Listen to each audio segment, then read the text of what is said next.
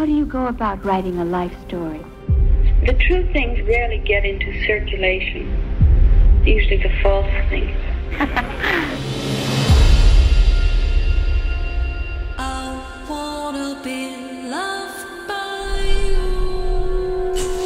In 1982, Los Angeles reopened the case of Marilyn Monroe's death. After 20 years, it's time to clear up this case once and for all.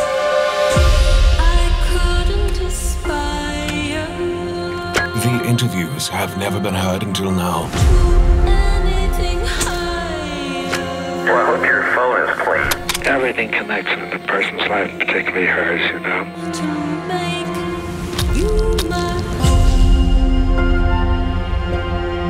To get to people with information about the night Marilyn died, it was difficult. Let it be. I can't say anything, and I knew it all. I did what you always have to do if you meet a dead end. I went back to the beginning.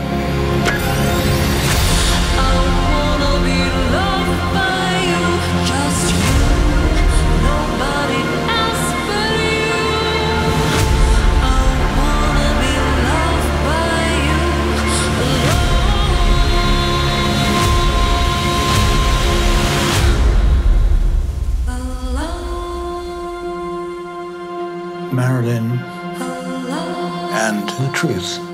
It's like going into the lion's den. And I indeed found out things which had not been found out before.